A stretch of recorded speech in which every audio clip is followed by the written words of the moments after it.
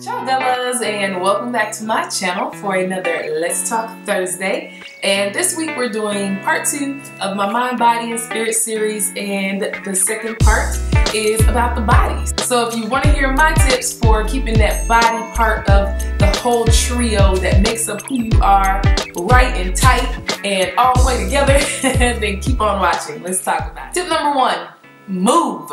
It's really simple. You know, it doesn't take going from zero to 100 to get your body in the right kind of shape that it needs to be in to function properly. Just move. Just start small. You can start with walking um, every day for maybe 30, 45 minutes. That's not that long when, you know, you think about if you have a pet, take your dog for a walk around the park or just walk around the park and enjoy the outside and the, the nature and the air and just, you know, being outside. As a society, we're so plugged into TV and computers and cell phones and apps and this and that sometimes it's good to just get outside and that actually will help that mind part of this trio of, of um, taking care of the whole of you but it definitely will help your body also. You don't have to go spend two hours in the gym um, hire a personal trainer and all that. Now by all means if that's something that you feel like is gonna get you motivated and get you to getting to your goals quicker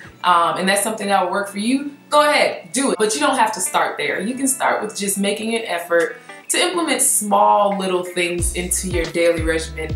And that's just like moving, just a little bit of movement every day. It's good for you and it helps your body in the long run. For me, I love yoga, so I have been slacking, I'm not gonna lie. I haven't been in the gym like I should be. And I just recently got back in the gym and started doing yoga and I swear every part of me is sore right now, but it's gonna pay off with my wedding being less than two months away. I'm trying to have it all together, you know? So yeah, move. Tip number two, fuel your body properly. You have to be conscious of the foods that you put in your body. Again, it doesn't have to be super dramatic changes overnight, but small little changes like cutting down or cutting out fried foods, fast foods, things that you know are not good for your body aren't going to help you attain the goals that you're trying to reach. At the end of the day, the Bible tells us that the body is a temple of the Holy Spirit. So we have to treat it that way. We have to treat our bodies like a temple. And so fried foods, fast foods, these, you know, processed, over processed, and just all the garbage that we have that's easily accessible but not good for us, try cutting those things down. Um, I, for me personally, I don't eat red meat. Um, I would like to completely cut out meat and go vegetarian, even vegan. Um, but I swear chicken calls my name sometimes. It just calls. Anyway.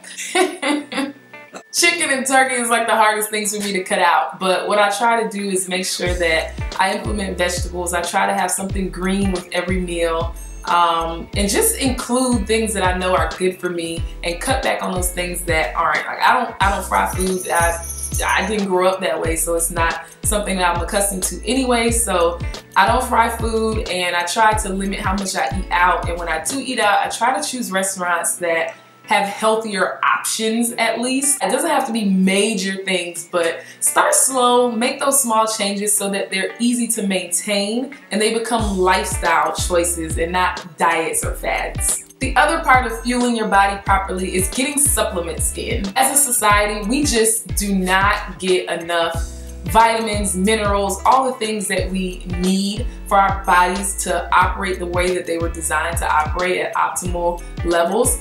And it's because we don't eat enough vegetables, we don't eat enough fruits, we just don't get enough of the things in us that we need. So supplements are really important to add into your diet to make sure that you're getting everything to help your body operate at the best that it can possibly operate. One of the supplements that um, I'm taking now is called Kyani and I absolutely love it. It's um, a really, really great product. So much so I became a distributor. so I can definitely leave um, leave that information down below. I can show you one of the products I have here. This is the uh, Sunrise part of the trio that is um, taken in the morning, obviously by the name Sunrise. And it is packed with 17, 17 superfoods. It would take large amounts of 23 different fruits and vegetables to get what's in this little one ounce packet.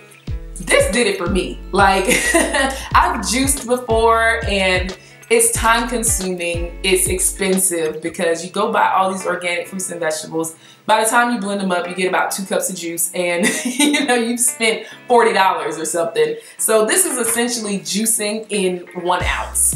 And there, it's packed with so many great benefits. I won't go on and on about it. Like I said, I'll leave that information down below. You can go to my website and check that out if you want some more information. And I'll be glad to shoot that to you or send you some video links and things that you can take a look at. So yeah, that would be my other tip to fueling your body properly is to get your supplements.